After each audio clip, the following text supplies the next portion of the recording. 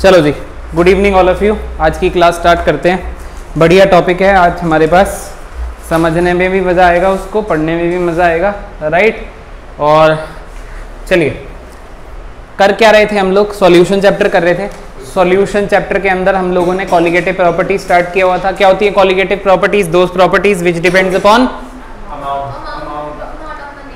amount of solute not on the nature से कोई लेना देना नहीं है। सबसे पहली कॉलिगेटिव प्रॉपर्टी हम लोगों ने कौन सी कर ली थी? Relative lowering in vapour pressure second colligative property कौन सी कर ली थी? Elevation in boiling point non volatile solute डालने पर बॉइलिंग पॉइंट सोल्यूशन का बढ़ जाता है। Right right. आज हम लोग करने वाले हैं दोस्तों डिप्रेशन इन फ्रीजिंग पॉइंट साथ साथ लिख लो। Depression in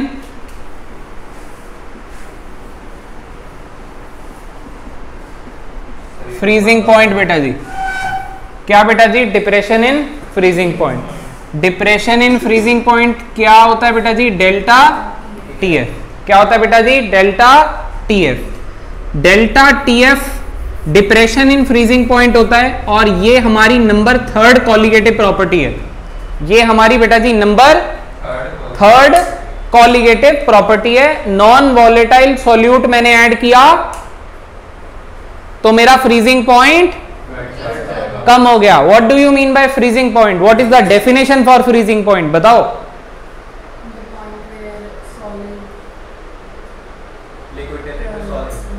Liquid turns into solid. The point, या the temperature at which the temperature at which right समझ गए बस। लिक्विड से सॉलिड अगर फ्रीज होता है जिस भी टेम्परेचर पे वो आपका फ्रीजिंग पॉइंट होता है। वाटर का नॉर्मली फ्रीजिंग पॉइंट क्या रहता है? ज़ीरो डिग्री सेल्सियस सही बात है। या फिर मैं ऐसे कह दूँ जिस पॉइंट पे सॉलिड मेरा मेल्ट होता है। हम क्योंकि सारी चीज़ों को वेपर प्रेशर से पढ़ रहे हैं क्योंकि हमने स्टार्ट किया आरएलवीपी से। सारी चीज़ों को हम relative lowering in vapour pressure पहले हमने वेपर प्रेशर पढ़ा राइट फिर आरएलवीपी लगाया हम लोगों ने फिर बॉइलिंग पॉइंट को समझा तो भी वेपर प्रेशर के माध्यम से समझा। ठीक है इसमें ये वाला पोर्शन कट रहा है क्या आज? सर वो उधर जाते ना तो दिखते नहीं हुआ ज़्यादा एक बार इधर जाना। जहाँ तक थर्ड है ना तुम पढ़ाने मत देना। अभी हाँ हाँ। ठीक है ठीक है। और इधर जाएँगे तो नहीं दिख चलो ठीक है भाई लोग। चलो कोई बात नहीं है। वापस से एक बार टॉपिक पे कंटिन्यूटी पे आते हैं। तो मैं आपको अगर वेपर प्रेशर की टर्म्स में फ्रीजिंग पॉइंट का डेफिनेशन पूछूँ तो क्या होगा? जब सॉलिड का vapour pressure becomes equal to liquid का वेपर प्रेशर होगा, वो आपका फ्रीजिंग पॉइंट रहेगा।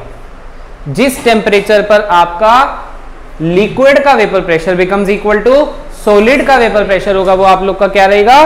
फ्रीजिंग पॉइंट रहेगा। लिख लो द टेम्परेचर एट विच लिख लो लिख लो the temperature at which vapour pressure of solid becomes equal to फटाफट becomes equal to vapour pressure of liquid is called freezing point of liquid is called freezing point of liquid और melting point of solid और melting point of solid क्या आप सभी को मेरी बातें समझ में आ रही हैं? बोलो यार। अब इसको समझने के लिए टॉपिक को दोबारा से मेरे को एक ग्राफ प्लॉट करना है। मैंने वहाँ पे भी आप लोगों को वेपर प्रेशर और टेम्परेचर से समझाया था। यहाँ पर भी मैं वेपर प्रेशर और टेम्परेचर से ही समझा दूँगा आपको सारी कहानी। एक बार बोर्ड पे नज़रें। एक बार नज़रें सीधा बोर्ड पे सारा ध्यान एकदम बोर्ड पे। ठीक है बेटा जी? लिखना कुछ भी नहीं है। आप मुझे बताइए अगर मैं टेम्परेचर को कम कर दूँ अगर मैं टेम्परेचर को कम कर दूँ तो मैं कुछ इस तरीके से कह सकता हूँ कि मेरा वेपर प्रेशर भी कम हो रहा है। क्योंकि टेम्परेचर जब बढ़ा रहे थे तो वेपर प्रेशर बढ़ रहा था बोलो यार। yes, तो मैं अगर यहाँ पे सोलवेंट ले रखा है क्या ले रखा है? प्योर सोलवेंट तो ये कुछ इस तरीके से जाएगा बोलो यार।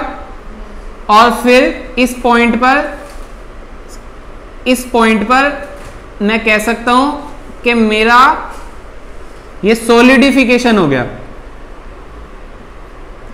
सोलिडिफाई हो गया। क्या? सोलवेंट यहाँ पे क्या था वो? लिक्विड तो ये टेम्परेचर मेरा क्या कहलाएगा बेटा? ये कहलाएगा टी नोट एफ़ क्या कहलाएगा बच्चों? तो टी नोट एफ़ क्या हो गया? Freezing point of pure solvent.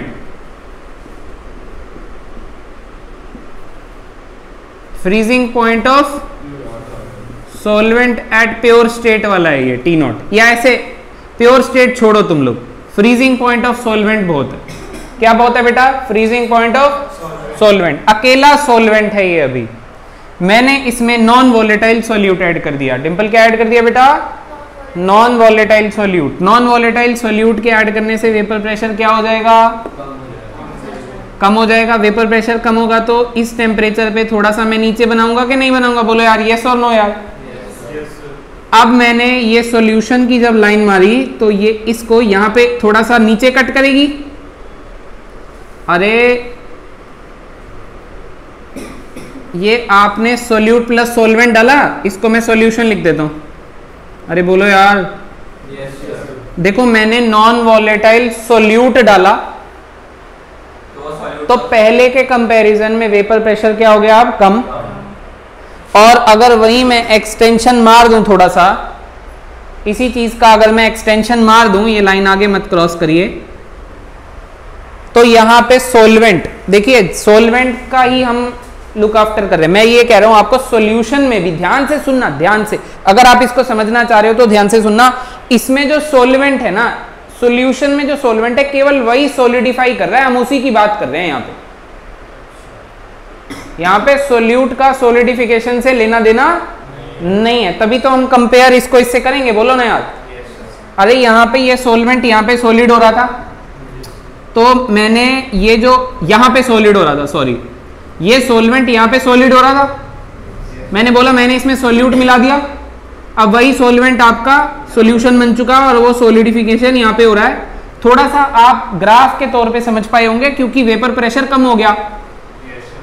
तो फिर ये कहीं ना कहीं पीछे तक एक्सटेंड होगा। ये और नो अब ये जो आपका फ्रीजिंग पॉइंट है, वो सॉल्यूशन का फ्रीजिंग पॉइंट है। किसका फ्रीजिंग पॉइंट है? सॉल्यूशन का। तो टीएसएफ क्या हो गया बेटा जी? फ्रीजिंग पॉइंट ऑफ़ बोलो यार फ्रीजिंग पॉइंट ऑफ़ सॉल्यूशन अरे बोलो यारो। yes, समझ में आ रही है कि नहीं आ रही? ठीक है। ओके okay, रिपोर्ट है। अब आप मुझे एक बात बताइए।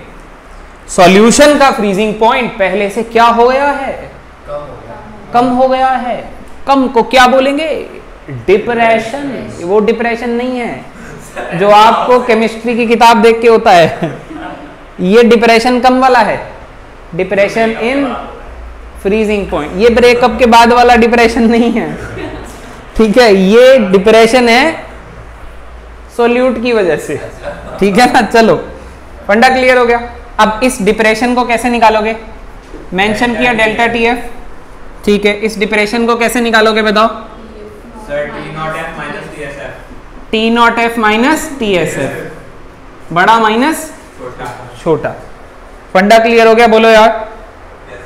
ठीक है। आप मुझे बताइए अगर मैं इसमें नॉन वॉलेटाइल सोल्यूट ज़्यादा ऐड करता तो वेपर प्रेशर और कम होता?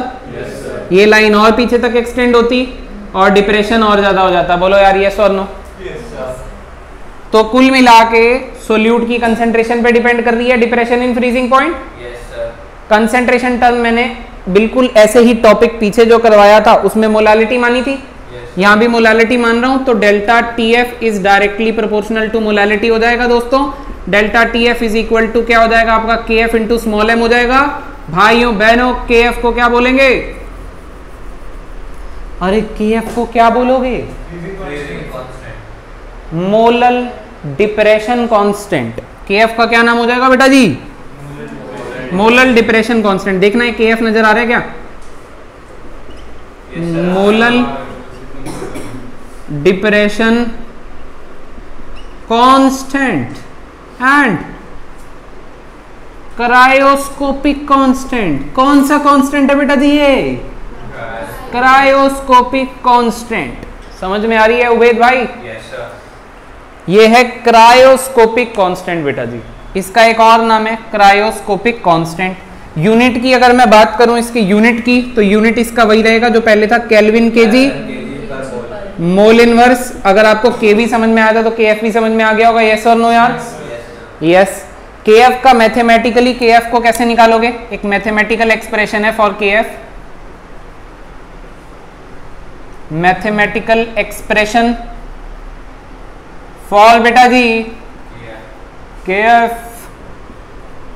बिल्कुल वैसा ही M R T not F का whole square divided by thousand into delta H के नीचे फ्यूजन लिख रहा हूँ। सॉलिड से लिक्विड का ट्रांजिशन फ्यूजन कहलाता है। क्या कहलाता है? ऐसा होने पर जो इंथैलेपी रिलीज़ होती है वो है। ये आर है आपका। गैस कांस्टेंट एनर्जी का यूनिट ले ले लीजिएगा। और एम क्या है आपका? मोलिकुलर मास ऑफ़ सोलवेंट अरे बोलो यार। गैस कांस्टेंट की वैल्यू जूल में जाएगी. क्या आपको ये टॉपिक समझ में आया? जल्दी कर लो नोट देखो, मैंने आपको लास्ट जो टॉपिक कराया उस पर बहुत ज़्यादा क्वेश्चन नहीं करवाए। अगेन इस टॉपिक पे अभी मैं आपको बहुत ज़्यादा क्वेश्चन नहीं करवाऊँगा, क्योंकि नेक्स्ट एक टॉपिक है हमारे पास वेंटा फैक्टर का। उसमें एक टर्मिनोलॉजी आप लोग सीखोगे, वो इन्हीं सारे के सारे जो कॉलिगेटिव प्रॉपर्टीज़ के फॉर्मूलाज में लगेगी और अचानक से आपको सारे के सारे क्वेश्चन दोबारा करने पड़ेंगे। तो जितने भी इंपॉर्टेंट क्वेश्चन बनते हैं, वो वेंट ऑफ़ फैक्टर और इनको मिला करके ही बनते हैं, इसलिए मैं इस पर ज़्यादा ज़्यादा क्वेश्चन अभी नहीं करवा रहा हूँ आपको, ठीक है? तो एक बेसिक सा क्वेश्चन ज़रूर करवाएँगे पर ताकि आपको फॉर्मूला एटलीस्ट लगाना आ जाए, ठीक है? फॉर्मूला लगाने लगाने के लिए मैं आपको एक न्यूमेरिकल करवा देता हूँ। बड़े बेटा जी आगे वेरी इजी न्यूमेरिकल बोलते हैं अभी आपको। फटाफट से एक बार कर लो नोट फिर एक बहुत ही आसान न्यूमेरिकल आपके लिए। है टी नॉट एफ़ का स्क्वायर है यस ठीक है।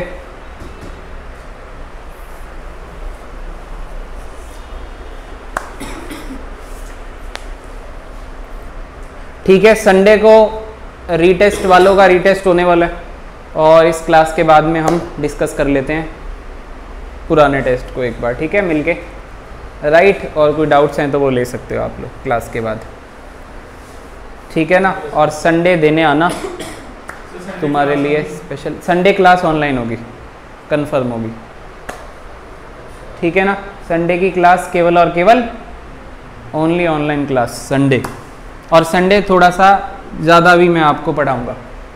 संडे सुबह के टाइम रखते हैं शाम के टाइम से संडे सुबह का टाइम 10 बजे या 9 बजे के करीब क्लास रहेगी। लास्ट टाइम हमने 11 बजे शिफ्ट कर दी थी वो मैसेज आ गए थे मैंने भी इन्फॉर्म लेट किया था। अब तुम्हें आज से इन्फॉर्म कर देता हूँ मैं। संडे की क्लास रख लेते हैं अपन लोग। 10 बजे ठीक है। हाँ, दस बजे 10 बजे ठीक है। है। वीडियो मिल जाएगी तुझे। तेरी 11 बजे वैसे 11 बजे रख ले तो कोई दिक्कत है? ग्यारह से लेट ना होगी फिर बाद में दिक्कत होगी 11 से लेट नहीं करेंगे। डन ठीक है? ठीक है। मेरे को क्योंकि कल किसी ने लास्ट टाइम बोला था कि मेरी 10 से 11 की क्लास है। एक बार कल उससे पूछ के, या तो 10 बजे या 11 बजे फिक्स है। एक घंटे की। रिकॉर्डिंग मिल जाएगी, कोई प्रॉब्लम नहीं है। ठीक है? चलो। डन हटा दें। हटा देते हैं। चलो, एक क्वेश्चन लिखो आप लोग, फटाफट से।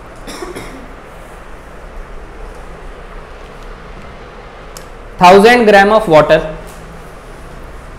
1000 gram of water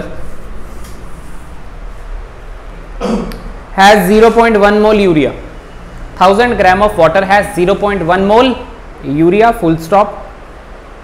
What will be the what will be the freezing point of the solution? Right. What will be the freezing point of the solution. If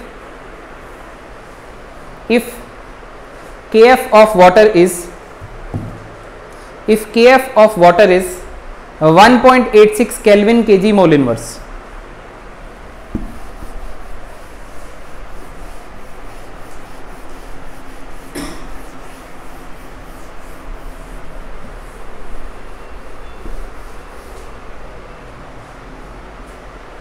ठीक है बेटा जी। सर 18.6 क्या आंसर कितना आ रहा है तेरा? गलत है। नहीं एक मिनट 0.186 0.186 भी गलत है। दो बार गलती हो गई बेटा। तीसरी बार नहीं सर है 1.86 लगाओ लगाओ फॉर्मूला लगाओ। टाइम दे दिया एक मिनट तो लो। थोड़ा ध्यान से देखो बेटा, जल्दबाजी में काम गलत हो जाता है। एक्यूरेट आंसर नहीं है आपका।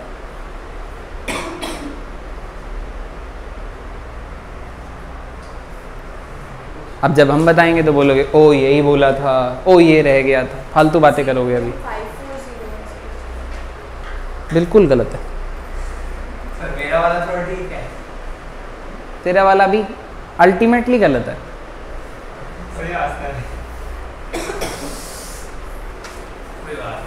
दोबारा देख बेटा क्वेश्चन को क्या कोई बात नहीं। कोई बात नहीं। अंदर चलो। सॉल्व कर रही है बेटा। इतना नहीं करना था इसमें इधर देख। डेल्टा टी एफ़ का फॉर्मूला लगेगा? K F into small M क्या निकालना है बताओ? नहीं पढ़ा ही नहीं आपने पढ़ा ही नहीं आपने। क्वेश्चन ही नहीं पढ़ा आपने। पढ़ो क्वेश्चन पढ़ो। Freezing point of solution freezing point of solution निकालना है। यानी कि डेल्टा टी एफ़ को आपको ओपन करना पड़ेगा T not F minus T S F देखा सर बस यही तो रह गया। आपको ये निकालना है। आपको के एफ़ दिया हुआ मैंने? सर कितना दिया हुआ है? सर 1.1 1.86 यूनिट नहीं लिख रहा हूँ इसकी। मोलालिटी 0.1 0.1 अपॉन 1000 into 1000 और सर मतलब 1000 थाउज़ेंड ग्राम दिया था? हाँ सर अच्छा, ठीक है। ये तो यही हो गया राइट 0.186 हो गया ये एक बात बताओ ये देखो। टी नॉट एफ़ अगर बोलूँ तो ज़ीरो डिग्री सेल्सियस होगा क्योंकि वाटर है। सॉल्वेंट वाटर है वाटर का freezing point zero degree Celsius है। Minus T S F solution का फ्रीजिंग पॉइंट कितना होगा? सॉल्यूशन तो का फ्रीजिंग पॉइंट निकालना है। ये कितना हो गया? 0.186 186 हो गया कि नहीं हो गया बेटा जी? अब ये ज़ीरो डिग्री सेल्सियस में ही मान लेते हैं इसको हम क्या जा रहा है? हमारे घर से क्या जा रहा है? तो ये माइनस ज़ीरो तो ज़ीरो ही हो गया। बस हमने ये मान लिया कि डिग्री सेल्सियस में माइनस को उधर भेज दो। ये आ गया आंसर। आपने क्या बताया था? सर मैंने बताया था 0.186 मैंने वही कहा था कि आप खुद बात करोगे बोलोगे यही बताया था मैंने। तो सर और ये अल्टीमेटली आपका गलत था क्योंकि आपने माइनस नहीं लगा। आप तो बेटा इतने बड़े अ, मतलब जो भी हो आपको यही नहीं पता लगा कि सॉल्यूशन का फ्रीजिंग पॉइंट निकालना है। आपने कहा था कि डेल्टा टी एफ़ निकालना। है राइट एक्सेप्टेंस सीखो एक्सेप्टेंस गलती आपको एक्सेप्ट आज नहीं तो कल करनी पड़ेगी। सर ठीक है? बेटा आप हो आदमी। आदमियों की गलती ना भी हो ना तो भी उन्हें एक्सेप्ट करनी ही पड़ती है कभी। हाँ, जिसमें- वरना उनकी बंदियाँ उन्हें छोड़ के चली जाती हैं। तो समझ गए? अच्छा यही है बस कोई बात नहीं तो हम लोगों की अगर गलती नहीं भी होती तो भी हम अगर मान लें तो ही हमारा जीवन जो है वो सक्सेसफुल है। और आप तो यहाँ पे गलत ही थे। आप तो बर्बाद हो जाओगे। आपका तो गुजारा एक दिन नहीं है। चलो आगे बढ़ते हैं। चलो ठीक है टॉपिक हो गया ख़त्म। ख़त्म तो नहीं हुआ है ऑब्वियसली ये टॉपिक हम आगे ज़रूर करेंगे। आगे करेंगे वेंट ऑफ़ फैक्टर को लगा करके। अभी हेडिंग बढ़िया सी नहीं बना लो। Osmotic pressure.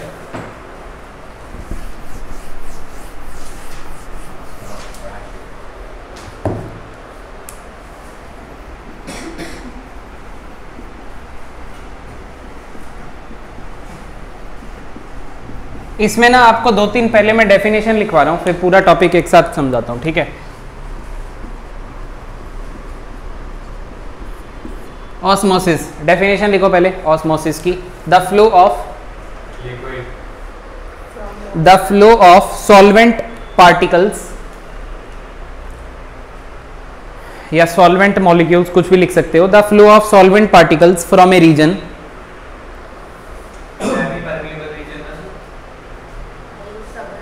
बेटा, कृपया मुँह बंद रखें. The flow of solvent particles from a region of low solute concentration from a region of low solute concentration to a region of high solute concentration to a region of high solute concentration through a semi permeable membrane. membrane through a semi permeable membrane is known as osmosis semi permeable membrane क्या होती है बेटा आप लोगों की? जो कि थोड़ा पार्शियली किसी चीज़ को फ्लो करने से। ठीक है चलिए मैं अगर आपको थोड़ा सा समझाऊं इसके अंदर क्या हो रहा है। ये फॉर सपोज़ मेरे पास ठीक है एक कंटेनर है यहाँ पे आउटलेट बना देते हैं दो बीच में लगा देते हैं सेमी परमिएबल मेम्ब्रेन यहाँ लिख देता हूँ सॉल्यूशन और यहाँ लिख देते हैं सॉल्वेंट तो अभी केवल और केवल मैं आपको ऑस्मोसिस समझाने वाला हूँ, क्या होती है? The flow of solvent molecules सबसे पहली बात, किसके मोलिक्यूल हिलेंगे? ध्यान से एक एक बात को ध्यान से सुनना क्वेश्चन यहीं से पुटअप होगा। किसके पार्टिकल्स हिलेंगे, बोलो यार? Solvent from low solute concentration जहाँ पे सोल्यूट का कंसेंट्रेशन लो सोलवेंट में तो है ही नहीं तो ये ये आप लोगों का लो सोल्यूट कंसेंट्रेशन हो गया। Towards high solute concentration towards high solute क्योंकि सोल्यूट तो खाली यही है, क्योंकि मैंने सोल्यूशन लिखा बोलो। इस प्रोसेस को हम लोग क्या कहते हैं? ऑस्मोसिस कहते हैं। वाया सेमी परमिएबल मेम्ब्रेन आपको ज़रूर ऐड करना पड़ेगा। सेमी परमिएबल मेम्ब्रेन वो मेम्ब्रेन होती है जो सोलवेंट के पार्टिकल्स को अलाउ करती है। ठीक है? एसपीएम इसको एक नेक्स्ट पॉइंट बना के एसपीएम लिख लो। अ मेम्ब्रेन विच अभी कुछ मत लिखो, अभी बनाओ कुछ मत, जो बोल रहा हूँ बस वही लिखो। नेक्स्ट पॉइंट बनाओ एसपीएम लिख लो। Semi permeable membrane a membrane which allows only solvent particles to move across it. Allows only solvent particles to move across it.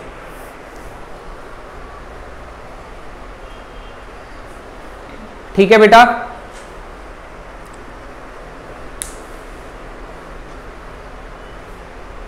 Right अब आप लोग बनाइए। बनाइए क्या? खाली सुन लीजिए और मॉड्यूल आपको पास है उसमें से पढ़ लेना। दो तरह की सेमी परमिएबल मेम्ब्रेन होती है। एक होती है नेचुरल और एक होती है सिंथेटिक तो जो नेचुरल होती है वो आ, हमारी स्किन के जस्ट नीचे जो रहती है वो वाली लेयर को नेचुरल कहते हैं। पिग्स ब्लैडर भी एक पिग्स ब्लैडर जो होता है ठीक है ना?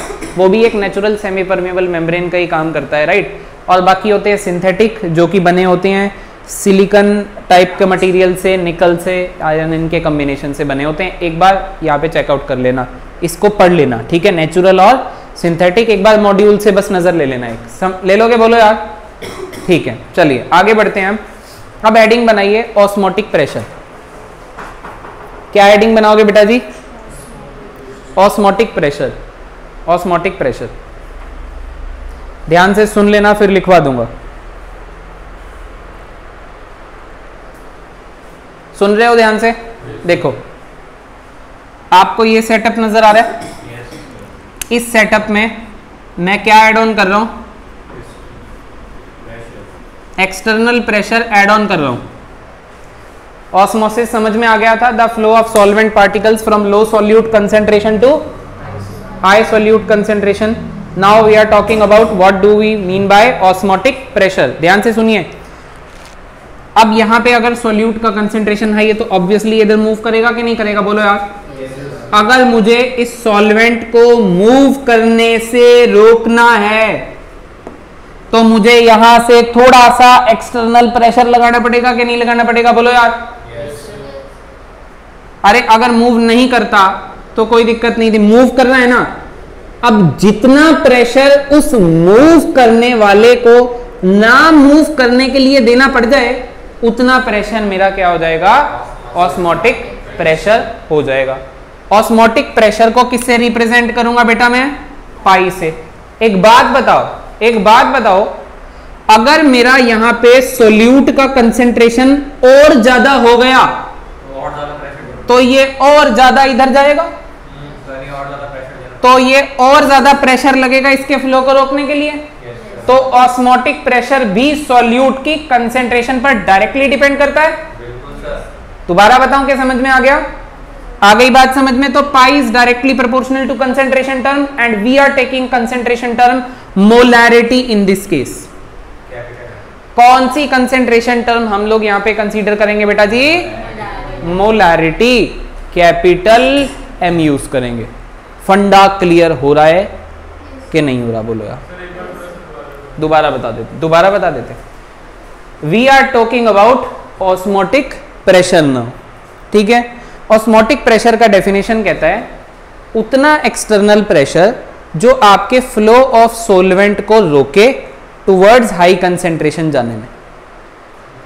उतना प्रेशर ऑस्मोटिक प्रेशर है। मैंने बोला ऑस्मोटिक प्रेशर क्या सोल्यूट की कंसेंट्रेशन के डायरेक्टली प्रोपोर्शनल नहीं होगा? बिल्कुल होगा क्यों? क्योंकि जितना ज़्यादा सोल्यूट का कंसेंट्रेशन होता, उतना ज़्यादा सोलवेंट और इधर जाता और और हमें एक्सटर्नल प्रेशर लगाना पड़ता ताकि ये सॉल्वेंट का फ्लो ना हो। तो ये डायरेक्टली प्रोपोर्शनल कंसेंट्रेशन के है। इसको कंसेंट्रेशन टर्म मोलारिटी कंसीडर करी हुई या सी भी लिख सकते हैं। तो प्रोपोर्शनैलिटी कांस्टेंट लगाएँगे।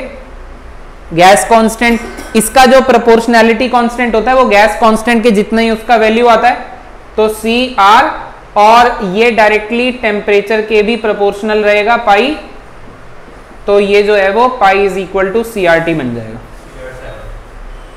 क्या आपको बात समझ में आ रही है कि नहीं आ रही, बोलो? तो अब ना इसको एक मिनट जो है वो नोट मत करो मैं आपको पहले डेफिनेशन लिखवा देता हूँ, फिर आप ये सेटअप बना लेना, और फिर आप यहाँ से ये कहानी नोट कर लेना, ठीक है? तो एक बार लिखो the amount of external pressure definition osmotic pressure का भी एक नंबर में पूछ लेते हैं. The amount of external pressure which must be applied which must be applied to a solution, which must be applied to a solution to prevent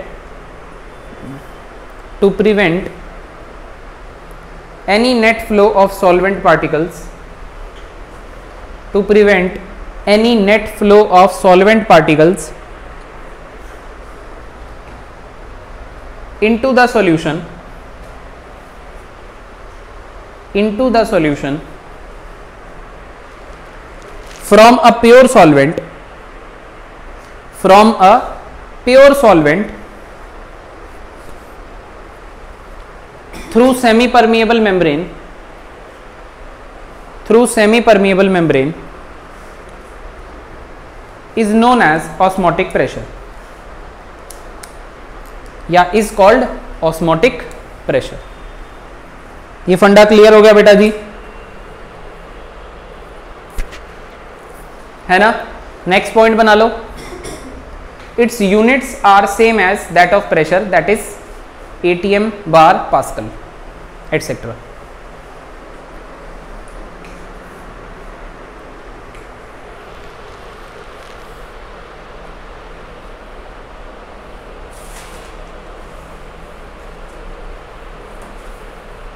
क्या आपको फंडा समझ में आ गया बेटा जी? यस और नो यार? ठीक है?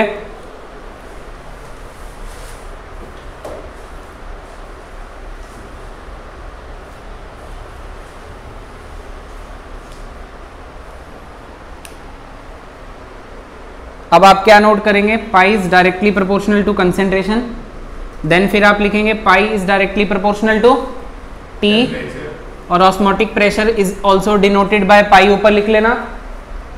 Therefore pi is equal to C R T बेटा जी। आर आपका गैस कांस्टेंट हो जाएगा। वैल्यू गैस कांस्टेंट जैसी है इसकी।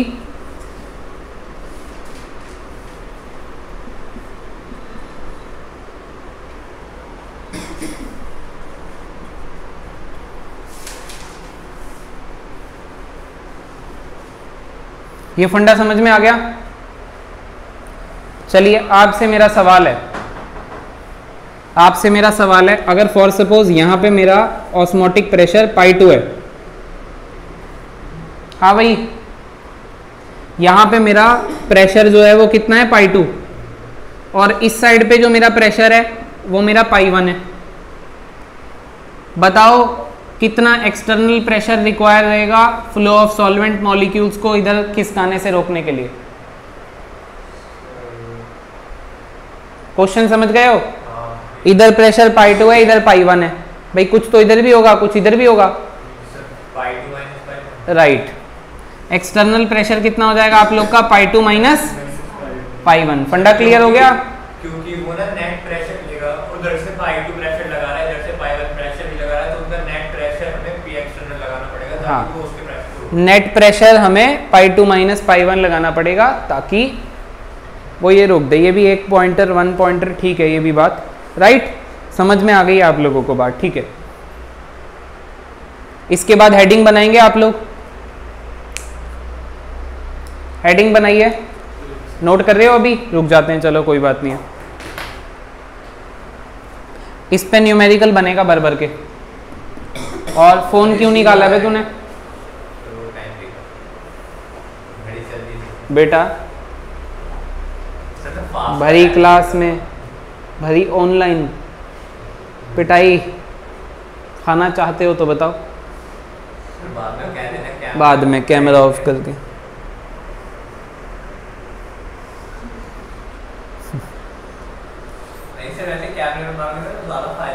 अब अगर आपने फ़ोन निकाला तो फ़ोन मैं रख लूँगा दो तीन दिन के लिए। वो भी पासवर्ड पूछ के।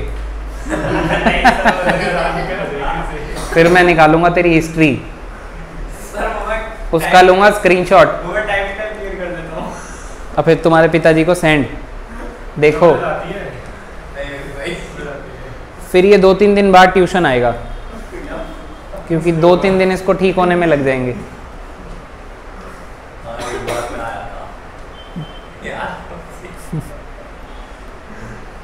नोट हो गया? चलो।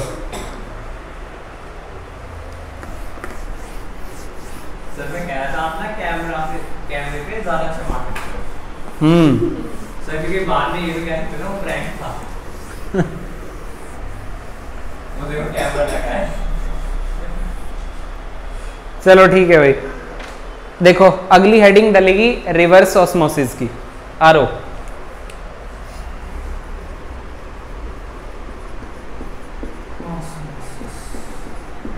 देखो वही पुराना सेटअप जो तुमने ड्रॉ किया था ना। अगर उसमें मैं एक्सटर्नल प्रेशर फॉर सपोज़ ज़्यादा लगा दूँ। फॉर सपोज़ ज़्यादा लगा दूँ तो सेमी परमिएबल मेम्ब्रेन से अब सॉल्यूशन की साइड से सॉल्वेंट की साइड पे सॉल्वेंट के पार्टिकल्स का मूवमेंट हो जाएगा। क्योंकि सेमी परमिएबल मेम्ब्रेन सॉल्यूट को तो अलाउ करती नहीं है। तो ऐसा करके आप लोग क्या कर सकते हो? अपने वाटर को प्यूरिफाई करते हो घरों पे, या डिसेलिनेशन ऑफ़ वाटर करते हो। नमक जो है वो आपका सोल्यूट है, और वाटर जो है वो आपका सोलवेंट है। जब आप एक साइड से प्रेशर ज़्यादा लगा देते हो, तब आप लोगों का क्या हो जाता है? सॉल्वेंट का फ्लो उल्टा हो जाता है। हाई कंसेंट्रेशन से लो कंसेंट्रेशन की ओर अब जाएगा। जब आप एक्सटर्नल प्रेशर ऑस्मोटिक प्रेशर से ज़्यादा लगा दोगे। क्या आपको बात समझ में आ रही है? आरओ का प्रोसेस समझ में आ गया? yes, दोबारा समझा दू क्या? पहले लिख लो आपको अपने आप समझ में आ जाएगा। लिखो if the pressure applied on the solution side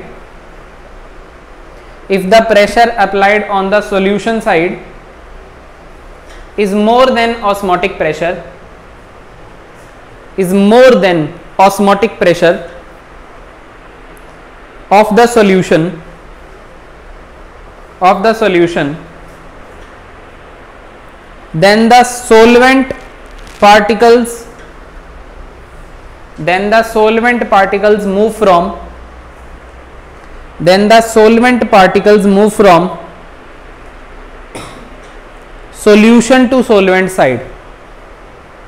Solution to solvent side full stop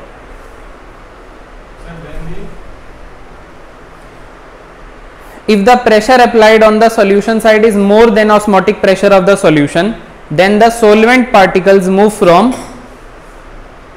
solution to solvent side full stop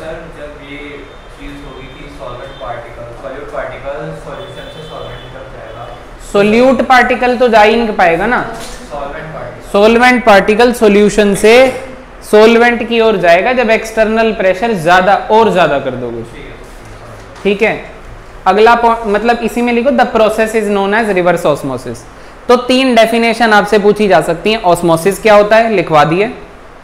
osmotic pressure क्या होता है? लिखवा दिया और रिवर्स ऑस्मोसिस क्या होता है? लिखवा दिया एज इट इज़ लिख दीजिएगा। बिल्कुल पूरे एक में से एक नंबर आप लोग को मिल जाएँगे। समझ में आ रही है कि नहीं आ रही है? बोलो यार। आ रही है आपको बात समझ है ना?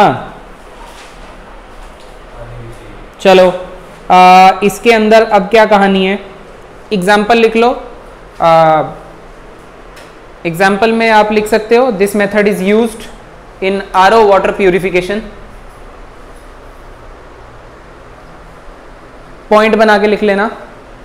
नेक्स्ट पॉइंट बना के लिख लेना this method is use in R O water purification at home and also for desalination of sea water and also for desalination of sea water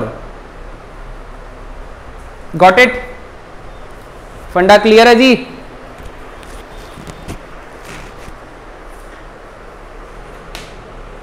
ठीक है जी।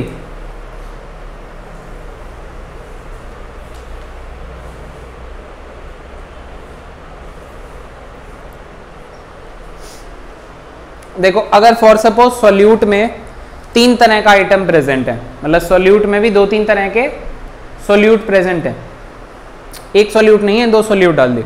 तो एक का कंसेंट्रेशन प्लस दूसरे का कंसेंट्रेशन मिला करके एक फाइनल कंसेंट्रेशन बनाना आप लोग। उसको फिर pi is equal to C R T में पुट करना। ये मैं क्या बोल रहा हूँ? एक क्वेश्चन लिखो, आपको इलुस्ट्रेशन में दिया हुआ है अपने पास। क्वेश्चन लिखिए if V one M L of मैं लिख ही देता हूँ question if V1 ml of C1 solution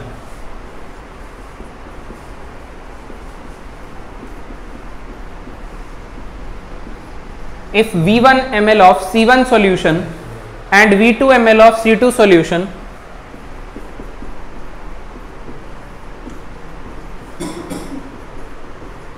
are mixed are mixed together then calculate the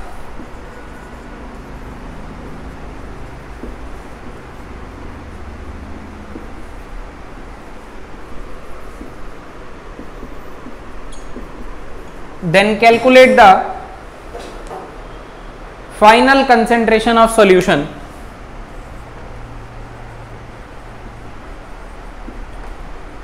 Then calculate the final concentration of solution and final osmotic pressure and final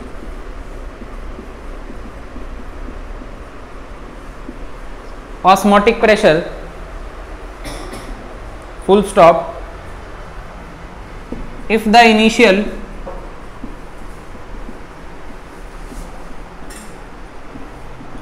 if the initial osmotic pressure of the two solutions are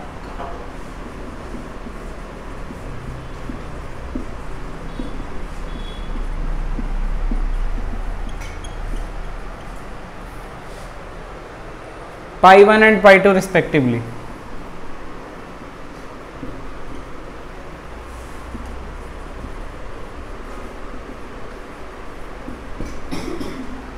चलो जी।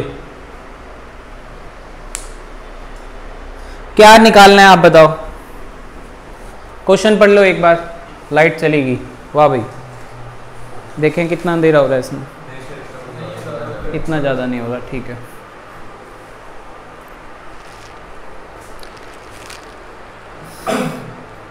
बताओ भाई, क्या निकालोगे?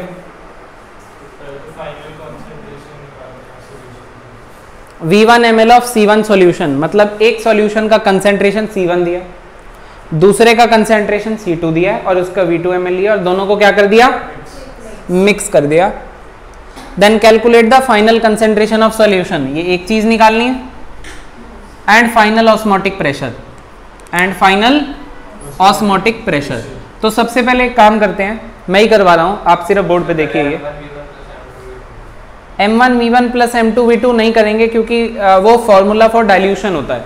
ये आपने mixing करी हुई है राइट तो इसमें कुछ नहीं है। कंसेंट्रेशन टर्म कौन सी ली है आपने बताइए? मोलारिटी मोलारिटी का क्या फॉर्मूला रहता है? Moles upon volume of solution in litre तो अगर पहले मेरे को मोल्स निकालने हैं तो मोल्स निकालने के लिए मोलारिटी इंटू वॉल्यूम करूँगा। तो अगर मैं आपको बोलूँ कि C1 जो था, वो N1 वन बाय वी था। देयर फोर एन कितना हो जाएगा?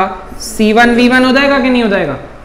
और C2 जो है, वो N2 टू अपॉन वी है। देयर फोर एन कितना हो जाएगा? C2 टू इंटू हो जाएगा कि नहीं हो जाएगा? तो अब जो हम कंसेंट्रेशन नई निकालेंगे न्यू कंसेंट्रेशन उसमें N1 one plus N moles को ऐड कर देते हैं डिवाइड बाय वॉल्यूम को भी ऐड कर देते हैं। वॉल्यूम कितना है? V one plus V two बोलो यार। बेटा एम ना 1000 से डिवाइड होगा ना बेटा ml में है ना तो यहाँ पे M L to M L ही चल रही है सारी कहानी, कोई दिक्कत नहीं है। मोलैरिटी के लिए 1000 होता ना वॉल्यूम तो उससे क्या करूँ अब तुझे लगा तो? मुझे लगा कि 1000 से डिवाइड होगा इसलिए अब नहीं हुआ, अब कर दे। अब कर दे ले।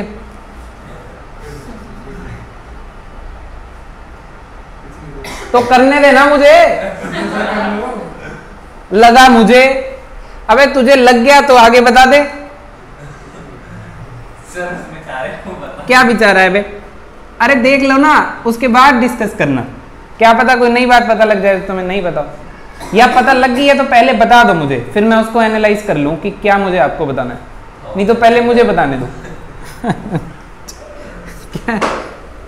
मज़े लेते रहेंगे बीच में। अब इधर देखो कभी दो चीज़ों को मिक्स करते हैं ना जब हम और यहाँ पे N1 और V1 की टर्म्स में ही चल रहा है। अभी एम एल एम एल तो कोई सीन शॉट हमने बिठाया ही नहीं है। सर आपने वीवन एमएल लिखा है। ठीक है वो कोई बात नहीं है। वो कोई दिक्कत नहीं है। आप इसको भी एम एल में मान लो इसको भी एम एल में मान लो कोई दिक्कत नहीं है। तो बे वॉल्यूम अच्छा वॉल्यूम इसको भी मान लो इसको भी मान लो। एम में कोई दिक्कत कुछ फ़र्क नहीं पड़ रहा उस चीज़ से ठीक है? मोल्स की जगह अगर हम वॉल्यूम एम में लेते हैं तो मोल्स को मिली मोल्स प्रनाउंस करने लगते हैं। ठीक है है ना? तो कोई दिक्कत नहीं है। अभी तुम्हें ये समझ में आ रही है कि हमने खाली मोल्स निकाले हैं बताओ पहले। सर ये आ रही है बात समझ में? बिल्कुल। और नई कंसेंट्रेशन निकालने के लिए हमने N1 one plus N two को क्या कर दिया? ऐड कर दिया। Total moles upon total volume total तो ये नई आपकी कहानी बन गई? यस सर अब आपने N1 की जगह अबे पहले इधर तो देख ले। N1 की जगह क्या रखा है? C one C1 V1 N2 की जगह क्या रखा है? C2 V2 upon V one plus V two V1 plus V2 तो ये बन गई आपकी क्या? नई कंसेंट्रेशन ये बात समझ में आ गई? अब इधर देखो। ऑस्मोटिक प्रेशर के लिए। ऑस्मोटिक प्रेशर पाई वन क्या होता है? देखो, सुनो। If the initial osmotic pressure of the two solutions are pi one and pi two respectively मतलब इनका ऑस्मोटिक प्रेशर पाई वन था और इनका ऑस्मोटिक प्रेशर पाई टू था। तो पाई वन क्या हो जाएगा? C one R T at same temperature अगर है तो टी ले लिया मैंने, है ना? और आर तो कांस्टेंट होता है, ठीक है? बताओ सी टू पाई टू क्या हो जाएगा? सी टू आर टी हो जाएगा कि नहीं हो जाएगा? बोलो यार। हो जाएगा ये। अब बताओ पाई टोटल कैसे निकालोगे? दोनों के दोनों ऑस्मोटिक प्रेशर को क्या कर दोगे? ऐड कर दोगे। क्या कर दोगे? ऐड मतलब पाई फाइनल निकालने के लिए हमको क्या करना पड़ेगा? Pi one plus pi two तो C one R T plus C two R T और C one plus C two R T आ गया. यस और नो अब आप C1 प्लस सी टू की जगह क्या करोगे बताओ? पाई फाइनल में ना न्यू C1 करना था आपको. एक सेकेंड रुक जाओ ना. इधर देखो. इसको ऐसे क्यों कर रहे हैं हम? इसको ऐसे करते ही नहीं है. पाई फाइनल आप इन दोनों सॉल्यूशन को मिला चुके हो. और सॉल्यूशन को मिला के ये बना चुके हो नई कंसेंट्रेशन अरे बोलो यार। तो आप पाई फाइनल में सी न्यू वाला ले लो ना। आर टी सकते थे वैसे भी कर सकते थे। और ये थोड़ा सा सिंपल बता दिया मैंने आपको, है ना? अब आप क्या करो कि सी न्यू जो है वो इसको ये डाल लो। C one V one plus C two V two upon V one plus V two R T वही कहानी बन जाती लगभग वैसे। चलो सी वन की जगह अब। सी वन की जगह क्या डाल सकते हो आप लोग? Pi by R T pi one by R T C one की जगह क्या डाल सकते हो बच्चों? और सी टू की जगह क्या डाल सकते हो? और आर टी कॉमन ले लोगे तो one by R T common हो जाएगा। तो आर टी से आर टी गया। आर टी से आर टी क्या हो जाएगा? तो pi one V one plus Y two V two upon. अरे बोलो यार। ये ठीक है अभी? यस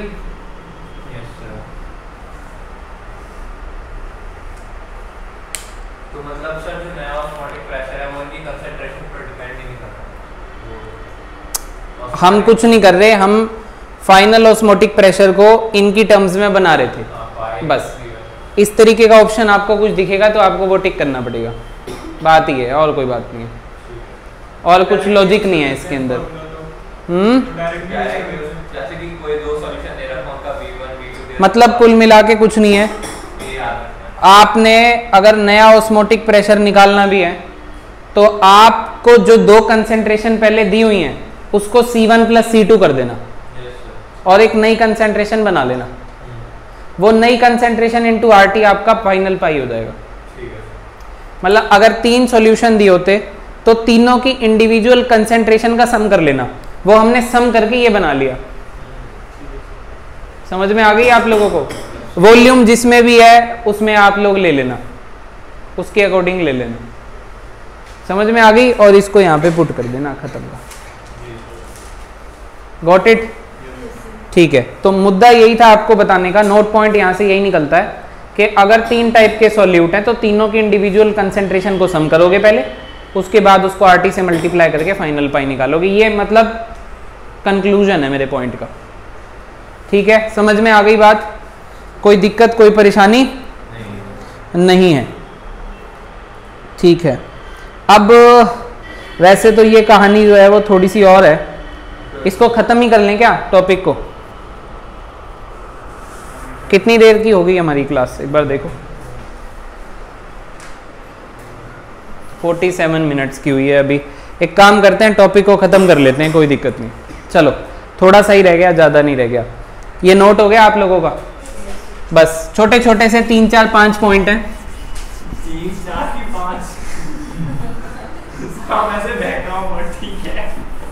तीन चार है। और पाँच ही हैं बस पाँच ही होंगे फिर।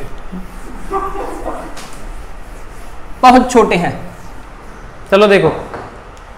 सबसे पहले आएगा आप लोगों को एक वर्ड आइसोटोनिक सॉल्यूशंस नाम का। किसका आएगा बेटा जी? आइसोटोनिक सॉल्यूशन होगा। जब आपके दो डिफरेंट कंटेनर्स में दो सॉल्यूशन होंगे और दोनों का ओस्मोटिक प्रेशर सेम होगा। एट सेम टेम्परेचर बात होती है ये। पाई वन इक्वल टू क्या हो जाता है? Pi two C one R T is equal to C two R T हो जाता है। आर टी से आर टी कैंसिल हो जाता है। C one equal to C two रह जाता है। कुछ दिया होता है और कुछ का मास पूछा होता है। खत्म काम। सी स्टैंड फॉर मोलरिटी है। ये कब होगा? जब आपको टर्म क्या दिया होगा? दीज टू सोल्यूशन आर मतलब इन दोनों का ऑस्मोटिक प्रेशर सेम है। एक पॉइंट खत्म हो गया। ठीक है? खुश है? सेकेंड पॉइंट हाँ पाँचों ही ऐसे हैं। ठीक है? अब हेडिंग बनेगी आपकी इसी पॉइंट की तरह hypertonic and hypotonic solutions hypertonic and hypotonic solutions इसमें देखो, इधर देखो। ये कंटेनर है, ये सॉल्यूशन वन और ये सॉल्यूशन टू है। ये पाई वन और ये क्या है इधर? ऑस्मोटिक प्रेशर पाई टू अगर मैं कह दूँ pi one is greater than pi two है तो यहाँ पे ऑस्मोटिक प्रेशर ज़्यादा है?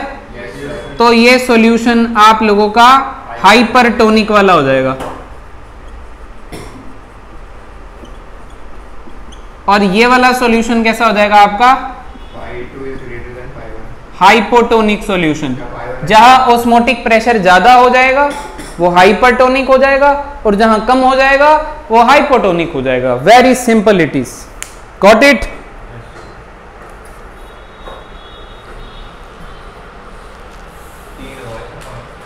तीन हो गए हो ना? अब कुछ ना वैसे थियोरिटिकल पॉइंट्स हैं इसमें। एप्लीकेशंस में आ जाएँगे वो। काफ़ी सारी एप्लीकेशंस हैं। दो तीन बता देता हूँ जो स्कूल के पेपर में आती हैं ठीक है? सर वो ओरली बता देता हूँ। आपको फ़ोटो खींच के भेज दूँगा नहीं तो मॉड्यूल में पॉइंट्स बने हुए हैं वहाँ से देख लीजिएगा ठीक है? हटा दूँ इसको, हटा दूँ? और ये पक्का आएँगे स्कूल के पेपर में कंफर्म बता रहा हूँ आपको।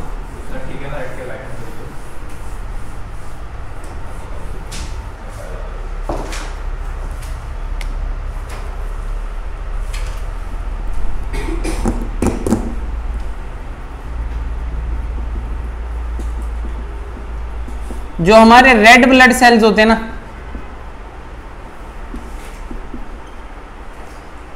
वो आइसोटोनिक होते हैं। क्या होते हैं?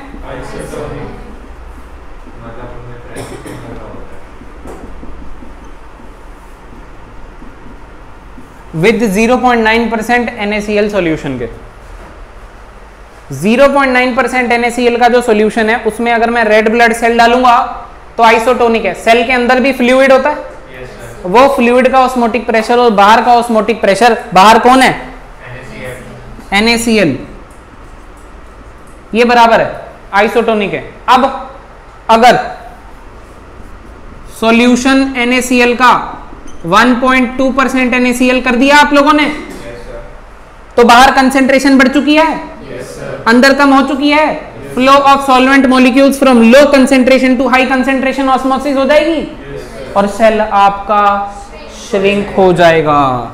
तो सेल आपका श्रिंक हो जाएगा। क्या आपको बात समझ में आ रही है? अगर यही मेरा सॉल्यूशन 0.2 परसेंट NaCl सॉल्यूशन के अंदर डाला तो सेल का अंदर का फ्लूइड का कंसेंट्रेशन ज़्यादा हो गया, बाहर का कम हो गया, बाहर से अंदर मामला चला जाएगा और सेल आपका स्वेल हो जाएगा। हाँ बायोलॉजी है। ठीक है, समझ में आ गई कि नहीं आ गई, बोलो। पक्का फंडा क्लियर हो गया? इजी था, नहीं है? बिल्कुल इजी था ये तो। चलो, इसको एक बार नोट कर ही लो। छोटा सा पॉइंट बनाया ना आपके लिए। बहुत। एक ये आता है ठीक है? आ, एक पॉइंट इसके बाद और लिखवा रहा हूँ बस लास्ट लास्ट है वो। गिन के पाँच बातें भी नहीं हुई देख लो तुम। कितनी बात चल रही है? तीसरी थी ये? चौथी थी। चौथी थी ये? गिन के पाँच ही होंगी। आप ज़ुबान पे पकड़ी नहीं हो ज़ुबान का पक्का हूँ। बीच में तुम्हें टेस्ट कर रहा था कितनी बताई थी। पाँच बोली थी कि नहीं बोली थी? बता डिम्पल पहले। पांचवी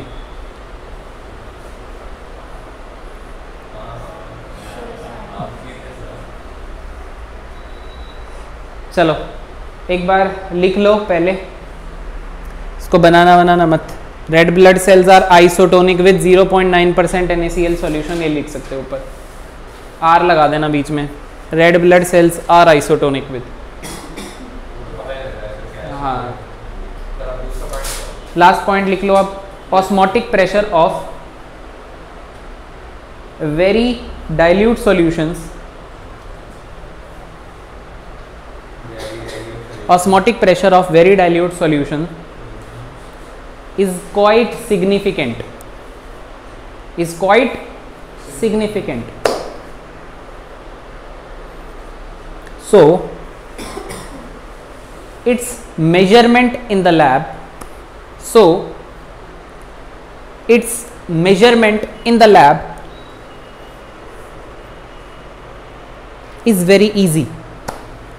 So its measurement in the lab is very easy and thus this method is and thus this method is frequently used frequently used in the measurement of, in the measurement of molecular weight of solute आपको molecular weight of solute आपको एक question आएगा कि why osmotic pressure is preferred over other concentration terms question सुन रहे हो बेटा जी? Colligative properties चार पढ़ाई हैं। क्यों इन चारों कॉलिगेटिव प्रॉपर्टीज़ में measurement of molecular mass of solute के लिए मैं ऑस्मोटिक प्रेशर का इस्तेमाल करता हूँ बाकी क्योंकि इसकी कोई सिग्निफिकेंट प्रॉपर वैल्यू आती है और दूसरा रूम टेम्परेचर पे लैब के अंदर इसको मेजर करना आसान रहता है। जबकि आप देख लो फ्रीजिंग पॉइंट को कितना छोटा छोटा वैल्यू आया था और फ्रीजिंग पॉइंट इतना कम टेम्परेचर करना पड़ेगा बॉइलिंग पॉइंट इतना ज़्यादा टेम्परेचर करना पड़ेगा। बोलो यार। राइट तो सबसे ज़्यादा कैलकुलेशन इजी ऑस्मोटिक प्रेशर का, इसी के साथ आज की क्लास होती है समाप्त। कॉलिगेटिव प्रॉपर्टीज़ सारी हो गई, एक ही टॉपिक बचा है। वेंट ऑफ़ फैक्टर वो हो जाएगा हमारा संडे को। फिर करेंगे हम कुछ कॉम्पिटिटिव एग्ज़ाम के क्वेश्चन और थ्योरी व्योरी के क्वेश्चन ऑन मंडे बस फिर चैप्टर क्लोज है ऑन मंडे ठीक है? मंडे के बाद एक धमाकेदार टेस्ट ओके एक